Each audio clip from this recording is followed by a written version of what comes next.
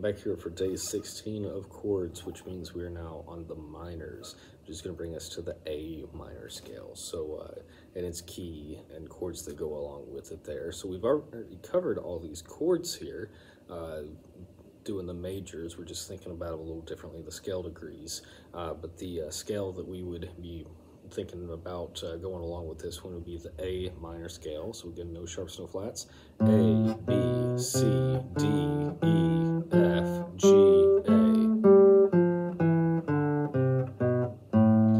So now uh, our 1, 4, and 5 are going to be minor chords. So that would be A minor, be our 1, D minor is going to be our 4, E minor is going to be our 5,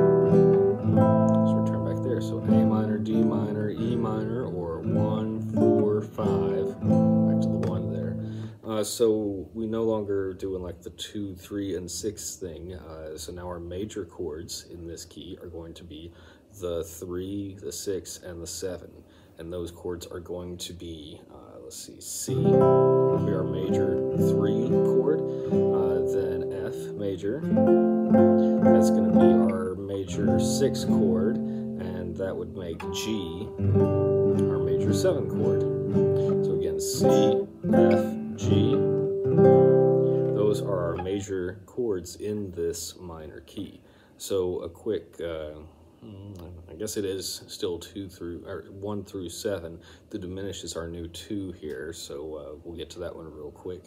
I've got A minor is my 1. B diminished is going to be my 2, so that would be B, F, got another F there, and then D down there. Chord. Then I've got my major 3.